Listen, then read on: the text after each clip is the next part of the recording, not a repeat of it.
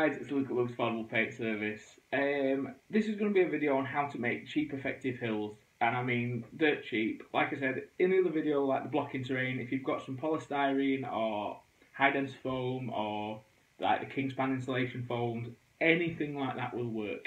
Anything. Okay, so as long as you've still got that, you can make these for next to nothing.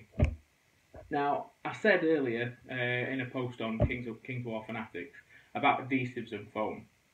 Now, the stuff I use is decorating cork or caulk, but it's, it's cork. Um, this stuff is uh, great because it's acrylic, it doesn't react with foam at all because uh, it's an acrylic filler, okay? But it's so strong. Now, how strong is a bit over the top for modelling, but as in I put dado rail up and you can pick your body weight up on the dado rail after about an hour. So it might be a bit OTT, but it works well and it holds everything in place. So for like good robust scenery, this stuff's awesome. Now I use it to stick it down, and I also finish it like you do in decorating. Like say when you've uh, put dado rail on and you've got the the edge, you know, like the gap from the wall to the thing, and then you you use the, the cork to get rid of the gap. I use that as well. Another reason it helps it stick to the base. Um, so I'll show you how I use this and I'll show you how good it is and how simple. Okay, now to hills, um, I've already made the base. It's just out of a bit of hard cardboard. I've stuck it together. I've got some cocktail sticks on the theme uh, and things like that. It's a bit of a hard board, is this? More a, more than cardboard, but I cut it with a knife and then I've beveled the edge as well, just using the knife. Um, I'm not so bothered about if it's a bit rough because there's filler and everything going over it anyway, and it'll blend into the table. Um, so I'll take extra steps with this, um, with the base, but again, it took me minutes, it took me about five minutes to make that. Okay, um, so the tip is have an idea of what size bases you want, but shapes, anything like that, don't think about it. That'll come when you start putting your, your mountain on. Okay, right, guys, I'm going to get the camera set up uh, and then we'll take it from there. See you in a bit. Right, guys. So I had an old hill because um, I had a well, it was a mountain actually um, that I made ages ago. Um, so I've found a section of it that I pulled off, and uh, I'm just it's, it's about the right size of the base, which I'm not going to have it the same size as the base. Um, I'm going to cut this down to to fit and look how I want. Now, tool you need: get yourself to your pound shop if you're younger than 18 guys, go with a parent uh, and get them to buy and obviously sit with you um, while you're doing it because they can be quite dangerous, these things. Um, but literally, eight for a pound, use, a, use it till it's blunt right away. Um, but there's no, again, there's no skill, but guys, just you've got your base as a rough idea of the size of the the bottom. So just literally just start cutting into this I mean, I'm obviously looking at the camera while I'm doing it, which you'd, you'd be looking at it if you were doing it yourself. But there's, like I said, there's filler going on this as well, guys. Um, so don't be, you know, if you don't like what something looks like, it's not going to look flat because obviously you're getting filler and texturing and everything else from your filler. You can just paint this foam. Uh, which I have done on the other side, look, as in I did it with just spray cans, as in that's just black, grey and white and it takes minutes to paint like that. Um, I don't mind doing things like that, but to make it fit the rest of my train, I'm just going to go and brush it all really. Um, but that's just how I want to do it. Um, but like I said, guys, just keep chipping away at this till you get a sort of shape that you want. Um, and that, as you can see, I'm not really just not thinking, I'm not even looking at half of it, I'm just going around shaving bits off uh, and getting some nice contours and everything else in the foam.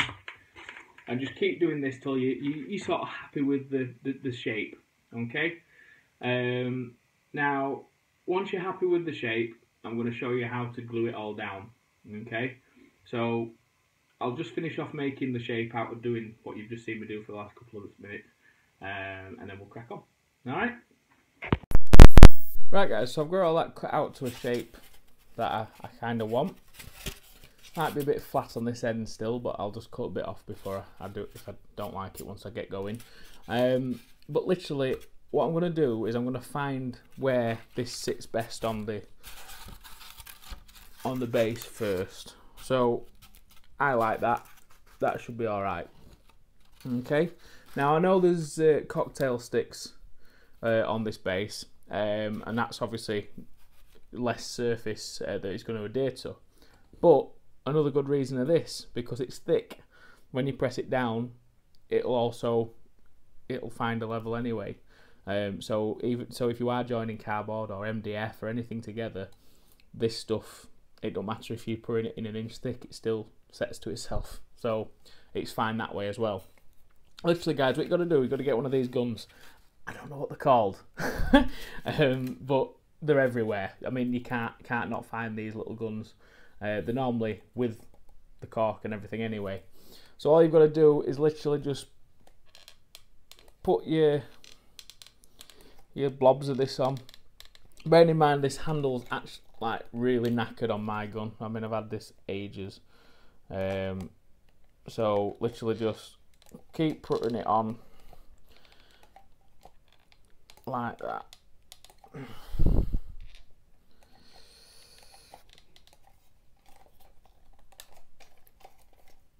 I mean, you can just push it out of the tube if you wanted with a, a long stick, but I just find it a bit easier like this, and for the sake of a couple of quid, if you get yourself a gun, if you're going to use this method. Right, guys. Now, now I've got the, enough uh, cork on there. Literally, you found how you want to place it. So, or did I? yeah, I'll do it that way.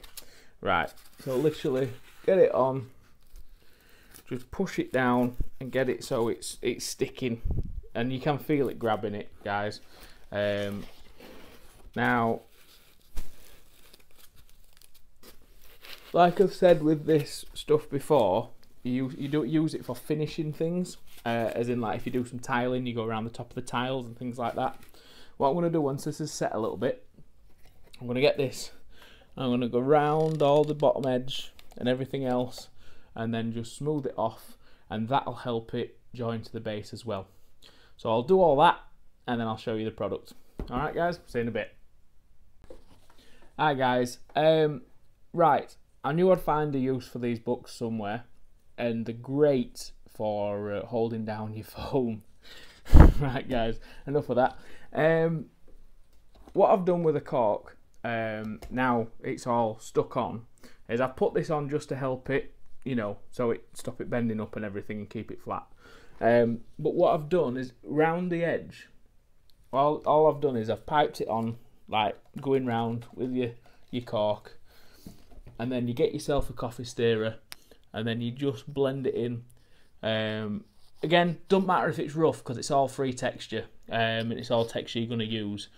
Um, and it's already starting to go off. I mean, bear in mind, guys, I only did this like five minutes ago, um, so yeah.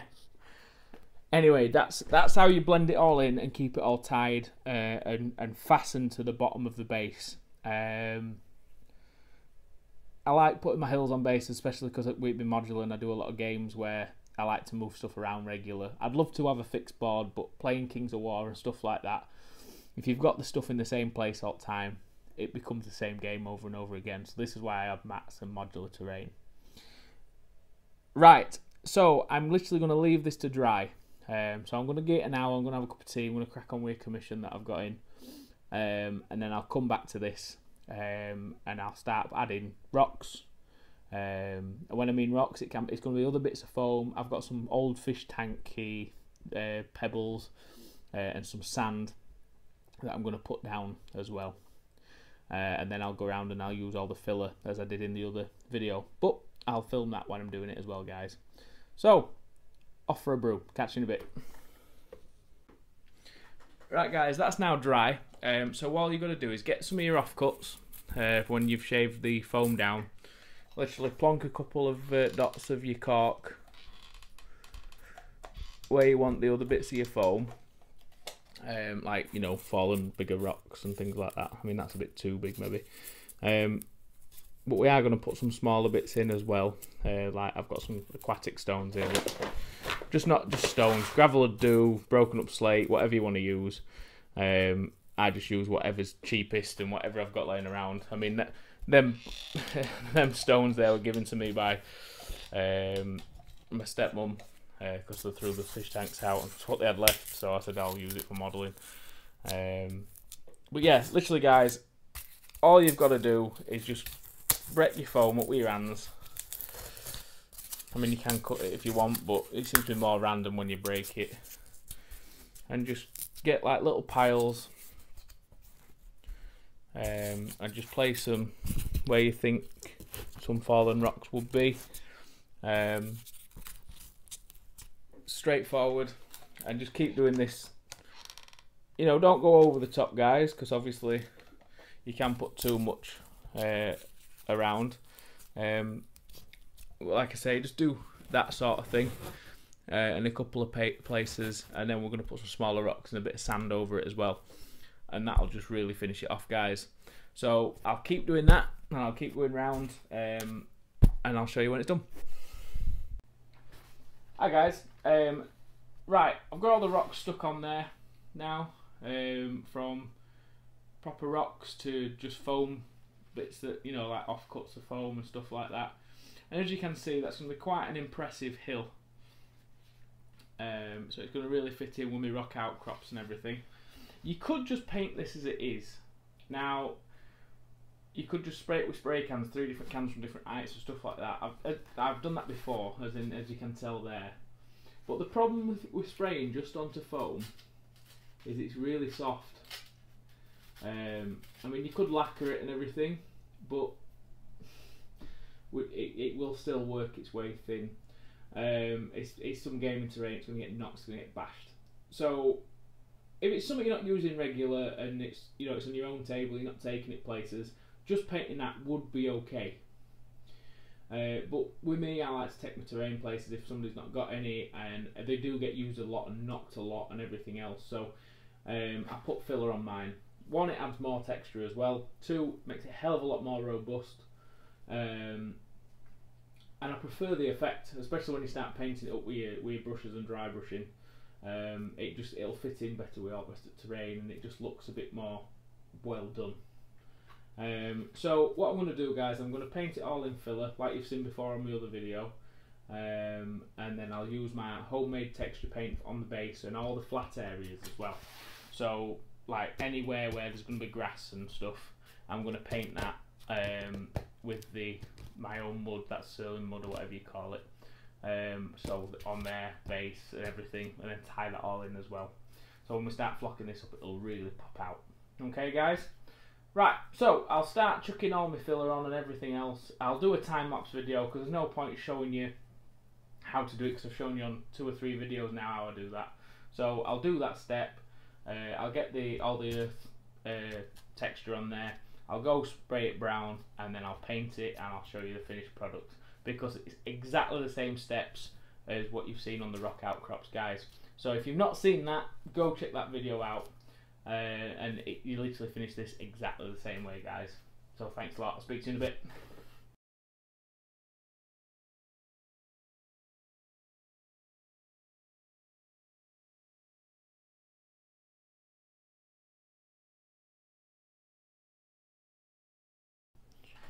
Right guys, so I've got the textures on. All the white is just standard filler with no, nothing in it, just filler and PVA glue. Um, and then I've just obviously dabbed it on, stippled it on just to get a bit more texture in areas and things like that. And it makes it a lot more harder wearing.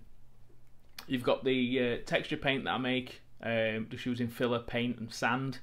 Um, and I've put that on all the flat areas where I'm going to be putting grass. Um, and what I've added as well is I've put some slate on now, okay, as well. So like in areas where there's just like flatter areas and bits of fallen rock, I've put some bits of slate on there as well. Um, so when I'm painting it, it's just something else to pick out. Okay. Um, I will be putting them uh, gauze bushes on from Tajima uh, that I've reviewed in my uh, weekly reviews. Um, sorry, I'm a bit delayed on that, guys. I'm, I were hoping to put a product on a week, uh, but I haven't been buying anything because um, my washer's broke. um, and things like that. So it's been one of them weeks where more money's come out than's gone in. so I've not been buying things like I usually do to try. Um, but that's why I thought I'd do this uh, mountain video so you can see how it is to build just quick and easy terrain. Um, I'll quickly show you these wet super glue still on it and it is still very wet um, but as you can see there's all like the bits of piled um, what do you call it? Slate and everything. Um, hang on. Like there look. And we've got some on top. I'm even going to put like the, this little dig out here. Ah, I've got super glue to give and this little fill out here I'm going to put some water in there and we get the water running down into this little ravine here as well. Um, just for an extra an extra aesthetic. Um, I'm going a bit over the top because I'm just trying new things as well guys. Uh, like using water effects and trying to you know emulate like little bits of trickling water and things like that. Um, so I'll show you how that turns out and if it turns out well I'll then do a video on how to do that. So guys I hope that's been helpful. Um, I'll get it all painted uh, and show you the finished product in a few pictures at the end, or I might even do a quick video.